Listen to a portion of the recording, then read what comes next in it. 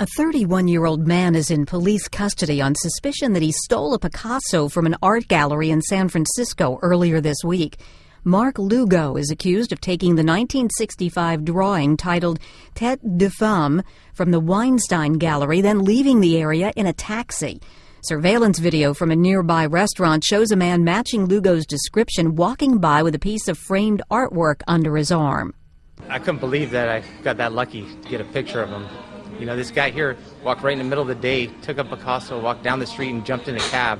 Investigators say they believe Lugo was working alone and planning to ship the piece to an unknown party. He was arrested on Wednesday at a hotel about 40 miles away from the gallery. Police say the drawing, valued at $275,000, was recovered without its frame. Lugo is being held on $5 million bail. Rita Foley, The Associated Press.